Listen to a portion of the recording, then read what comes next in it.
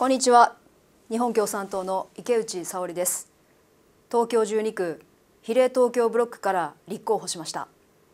2015年9月19日戦争法が強行されました。朝方まで抗議の声が鳴り響き野党と市民はこの悪法を必ず廃止するのだと決意を固め合いました。あれから2年私たちは選挙のたびに鍛えられ重ねてきた政策の合意また築いてきた信頼があります。この希望の力こそ総選挙でさらに大きく育てましょう。日本共産党が伸びれば必ず政治が変わります。共産党と一緒にみんなの声で政治を変えましょう。